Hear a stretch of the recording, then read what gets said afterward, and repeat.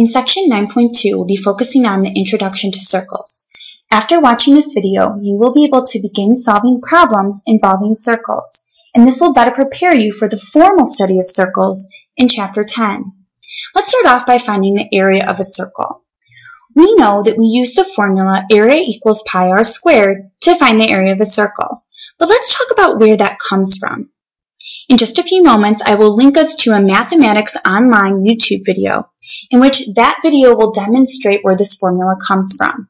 I'm going to narrate over this demonstration. Keep in mind the area of a circle is the space inside of the circle. But where does pi r squared come from? Let's start off with a circle. Let's take that circle and divide it into smaller equal pieces. Let's rearrange those equal pieces so that we create something that resembles a rectangle.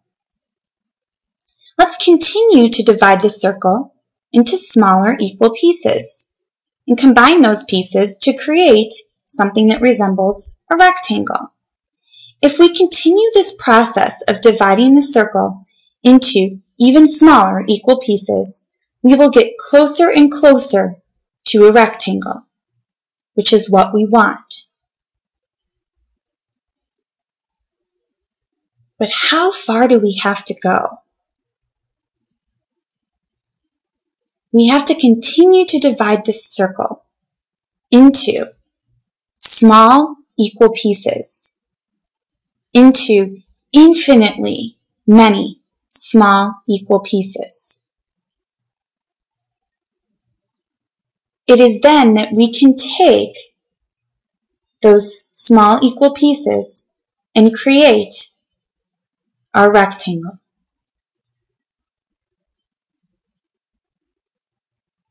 So the area of the circle is equivalent to the area of the rectangle, which we could find the area of the rectangle by doing base times height. But what is the height of this rectangle? The height is the radius of the circle, which we'll represent by r. What is the length of the base of this rectangle? For that, we'll have to turn to the circumference of the circle. And it turns out that the base of the rectangle is equivalent to half of the circle's circumference. How do we find the circumference of the circle? We find it by taking 2 times pi times radius. But we want half of that. So the 2's will reduce, and we're left with the length of the base of our rectangle to be pi times radius.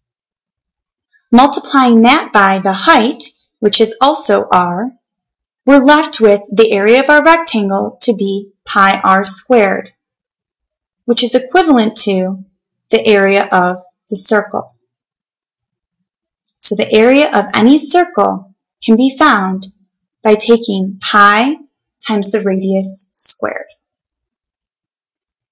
Now the circumference of a circle can be found by taking 2 pi r, which would give us the perimeter of the circle. An arc of a circle is made up of two points on the circle and all of the points needed to connect those two points with a single path. So an example of an arc would be arc xz over to the right. The measure of an arc we wanted to find the measure of that arc, xz, it would be equivalent to the number of degrees that it occupies. So we think measure and degrees go together. All the way around a circle, we know that it's 360 degrees. The measure of an arc and length of an arc are two different things. The length of the arc is finding the actual length of that yellow arc, which is a fraction of the circle's circumference, or portion of the circle's circumference. Please keep in mind that the length of the arc and measure of the arc are two different things, so they are not equal. Now let's discuss a sector of a circle.